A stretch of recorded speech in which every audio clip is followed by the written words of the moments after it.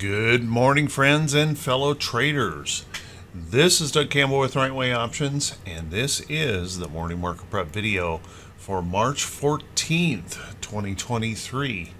Well, yesterday we had a little bit of relief to the upside and then kind of faded on the day, even despite the Fed intervention. There's still an awful lot of concern out there, and it looks like we have a lot of vulnerable, very vulnerable um, regional banks um, as the stress of all of the um, financial situations are running into uh, well major problems here um, in the financials.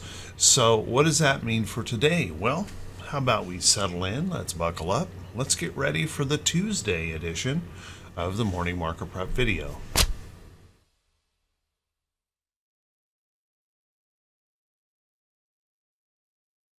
Good morning once again, everyone, and thanks so much for being here. I do truly appreciate it. Let's take a peek at these charts and see if we can get a little information about how we may want to approach the market for today. Well, yesterday, as you guys remember, I had talked about, in fact, uh, last Friday, I talked about if we failed this support area here in the chart, there's a good chance we would test this support area next. And, and by golly, that's where we ended up going yesterday um, early on in the morning, and then we started to rally. But unfortunately, even with the Fed intervention, we're not seeing uh, well we didn't we didn't get a whole lot of energy to just continue to rally we kind of faltered and then toward the end of the day pulled back a little bit and as you can see this morning we're trying to get a little bit of bullishness going again this morning trying to pop up here so perhaps we can finally get a little bit of a relief rally to the upside. We're de- we're definitely due a bit of a relief rally. Unfortunately, there's so many things coming at us today that you just don't know if we're going to be able to stay that way, even uh, by the time we reach. Uh, the morning open. So let's take a look here. As you can see, a rally back up to here would be a very normal event. Um, pushing back up into this area. As a matter of fact, I think it, if we can get some good economic data, then there's a chance it could move up there sharply and quickly. And then if we can break through there, maybe a test up into here to test the uh, downtrend area of the chart. But somewhere in here, guys, I would be watching pretty darn closely for that potential of failure and more selling coming into the market. You'll want to watch that pretty closely as we approach. About the only way I think I can turn bullish on this market at this point is that we're going to have to break through up here, hold a higher low, and then I think I might be interested. Now, of course, we could always push up here and hold a higher low in here someplace and still make that occur. But boy, we've got some work up here to do. And then when we look across over here, as you can see as we rally up, we just have a massive area of price resistance there in the Dow to deal with. And with the uncertainties that we've got right now, that's going to be a pretty big challenge for the bulls to put push through. Now, if we look at our technicals here, you can see our technicals are going to create some more of that issue up here with our 50 starting to turn lower right in this area here. By the time we make it back up into this area here, I think we're going to have that challenge with these uh, moving averages pushing down, creating a little bit of a moving average squeeze to the downside as well. Extra resistance anyway in the chart. If we take a look at our SPY, SPY also deserving a bit of a relief rally back to the upside. As you can see, I had mentioned that if we failed this area right in here, that we would look for the next level of support down in here. And though we didn't quite make it there, um, we still have that potential that we could reach down into that area. Now this morning we're getting a bounce back up, so any relief rally, if you look right in here, we have some pretty good price resistance right through the chart right there. So if we can continue to relieve this pressure, let's look for a pushback up into here. And what that's going to do is that's going to test this uh, break. We had this um, uh, bearish market condition that we broke back through with all that enthusiasm here earlier in the year. But unfortunately, now it's going to become a resistance again along with that price action. So as we push up, look at that look at that area in there for a potential resistance um, in the chart. If we can push through there, well then you can see we've got some additional areas of price resistance up here to be thinking about. They move all the way over here that maybe we could push through up into here and then contact that downtrend for that next move, uh, possibly to the downside. Our technicals, however, in the SPY are much better um, than they are in the Dow, but doggone it, um, they still are showing us a very strong level of technical resistance right in here as well. So let's keep a close eye on that. Let's remember that we've got some very likely issues here in front of us, and that is additional regional banks running into trouble. Then we're going to um, have the the situation of a, a possible Fed default um, out there because we uh, got we still have to raise the debt ceiling, and there's still a fight going on about that.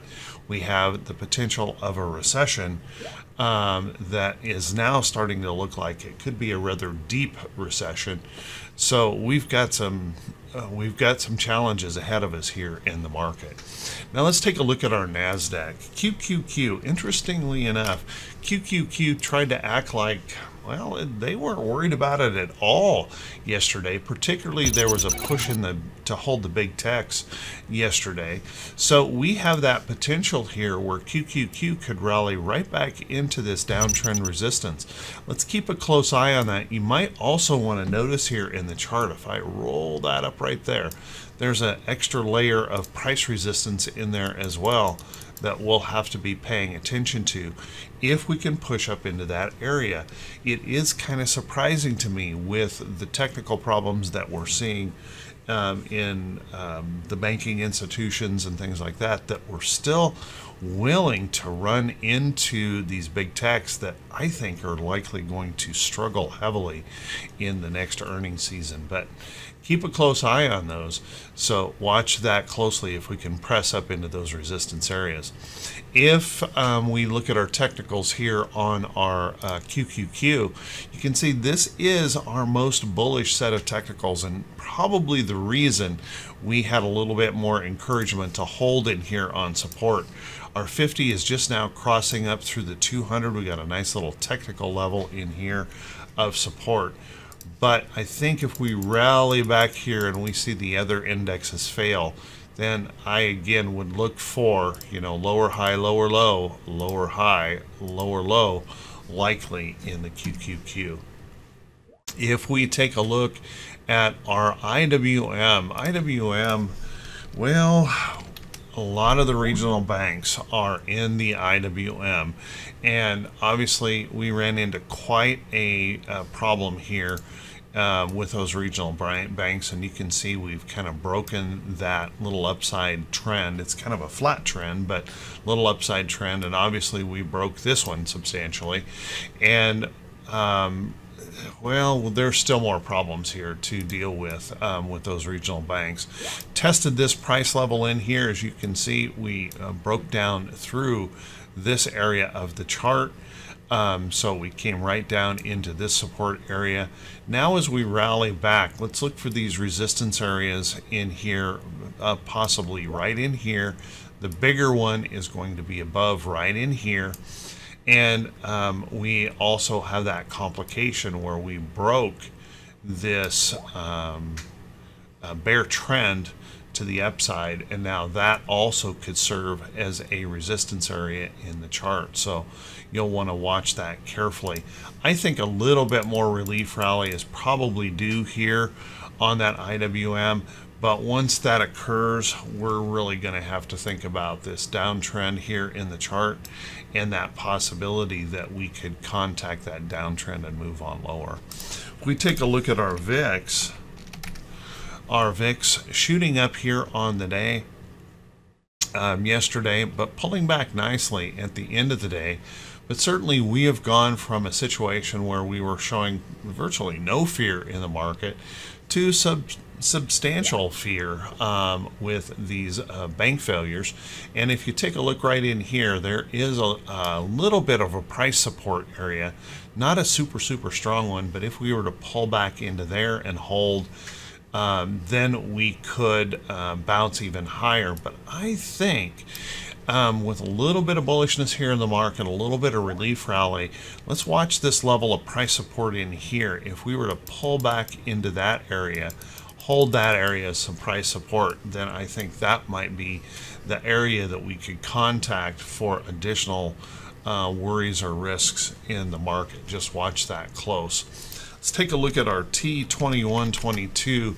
Now our T2122 is by far our best hope of a relief rally. We are oversold um, here in T2122. We buried this right down here toward that zero. But remember, if that contagion continues to spread, um, in those regional banks, it doesn't necessarily mean we have to bounce.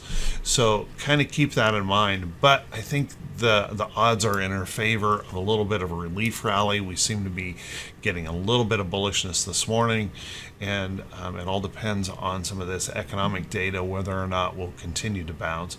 Watch that carefully in here, but we certainly have opened up plenty of upside opportunity uh, for a relief back to the upside. Let's take a look at our T2108. Now T2108 pretty ugly here where we have sold off extremely hard. We broke this little upside trend in here. As you can see, we've got a little bit of price support right in here that we could still hold on to. If that banking contagion continues, then remember uh, our lows were down in here we could certainly stretch down in here. And I would be watchful, even with the encouragement of a potential relief rally. I would watch carefully for those um, big whipsaws that we've been seeing lately, where you can run in and buy, and then, man, just get whipped hard on the day. So be kind of careful here, and I would caution everyone not to overtrade. If we take a look at our T2107, uh, same thing here where T2107 really broke down here quite a bit. Um, and of course, with the regional banks being in, in the IWM small cap area here, you'll notice that yesterday we broke down through this price support area in the chart. Now, that also gives us, you know, that little bit of fingers crossed hope that we could get that relief rally and we'd look for next resistance levels as we push back up here in the market. But just be a little bit careful here with the small cap um, sector running into all that regional bank trouble um, uh, for a uh, well, a super, super strong bounce could certainly come, but it's really going to take probably some additional Fed action. We're going to need some major change in economic data to um, um, encourage those bulls that um, that recession is not around the corner. If we take a look at our T2101, well, certainly our volume levels have come up here, and we surged high um, um, in this T2101. Again, that reversal, bringing in a lot more volume. Um, watch this closely here. Again, we may have stretched this a little bit too far, too fast on the momentum side. Look for a little relief maybe coming in the market soon. If we take a look at our um, uh, economic calendar, excuse me, our earnings calendar here for today. Our earnings calendar, well, the thing I've been talking about here this morning, the economic data that we've got hanging around our head here. First thing this morning, uh, 8.30 a.m. Eastern, so an hour before the actual market opens, we're going to hear from uh, the CPI. Now, right now, there's a lot of hope and encouragement that CPI turned a little bit lower than our last reading, um, edged back just a little bit, but um, only by one tenth of um, of a percent is what they're expecting. So we're going to have to watch that pretty closely. Um, if that number were to come in hot or uh, very sticky, not really moving down, that adds major complications here to the Fed. and um, can continue to put that pressure on them to keep raising rates. So watch that CPI uh, this morning, and I wish that was um, going to be the worst of it, um, uh, but I think Wednesday is going to be equally difficult with PPI, that retail sales number in there could be really interesting to be paying attention to um, with the, the threat of recession around the corner. Um, uh, our manufacturing has been pretty rough um, also in here, and of course, housing has been pretty rough. So we've got a lot on our plate on Wednesday to be thinking about. So keep an eye on that as well and think about that as you're planning forward. Let's take a look at our earnings calendar for today. Now, our earnings, we continue to diminish in earnings, and um, maybe some good news here. We don't have a major number of earnings here that could run us into some troubles today, but we do have some notables here to pay attention to. Just a few. We'll run through those real quick. First off, um, we've got uh, CAL that we'll be reporting today. You might want to keep an eye on that. We've got gas, um, some retail in here. Obviously, a little bit of trouble here in gas, pushing down, as you can see, maybe breaking some support. Um, um IHS would be on the list. A little telecom, uh, keep an eye on that. That's been pulling back a little lower highs come into that chart. Um, maybe a little bit of technical worry here on that one. Um, we've got um, Sentinel that will be reporting today. Looks like it's trying to push a little bit higher. Obviously, been moving in an ugly, ugly downtrend um, broke this little upside trend here in the chart and you'll want to keep in mind there's quite a little bit of price resistance as that rallies back up. We're going to hear from Lennar. This one might be interesting here today. Um, keep a close eye on that. Lennar has been moving down in a little bit of a downtrend here. We've obviously broken that strong upside trend and we're going to run into some price resistance here um, as well. So watch that closely. Could be set up for a short. Um, we'll see how they report today um, in um, that news. And then we've got um, Stone Company here uh, would be the last potential notable here today. Today, so watch that close. Now, keep in mind, um, we will ramp up a little bit more here on Wednesday or Thursday in those earnings reports. Um, maybe a few more of the notables in there. We're, we're going to continue with a lot of retail, but um, just kind of keep that in mind.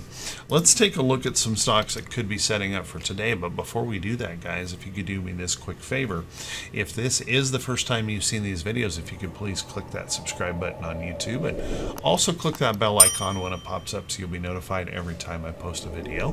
And if you find these videos to be useful or helpful, if you could please do me that favor, and that would be clicking those thumbs up buttons, leaving that brief comment that helps the channel to continue to grow.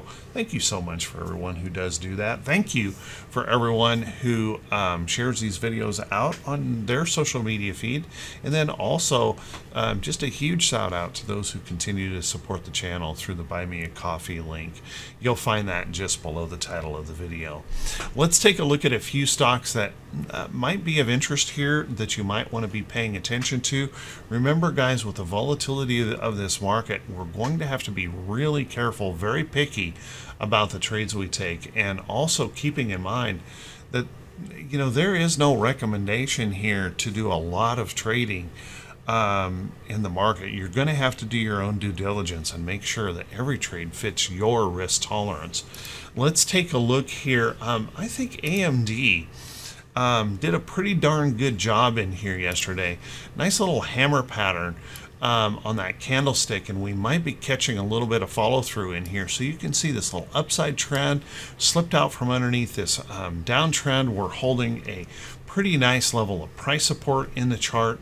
I think this might um, be setting up as a potential buy for the upside um, as long as you're not overly concerned about um, that tech sector um, you know picking up a little bit of the bearish contagion here. But watch that closely um, also, um, I think NVIDIA is holding up pretty darn well. We saw a little bit of bullishness coming in there yesterday, trying to push through. If you notice, we're holding on to some price support, and we can see that possibility that that could start pushing on through here to the upside.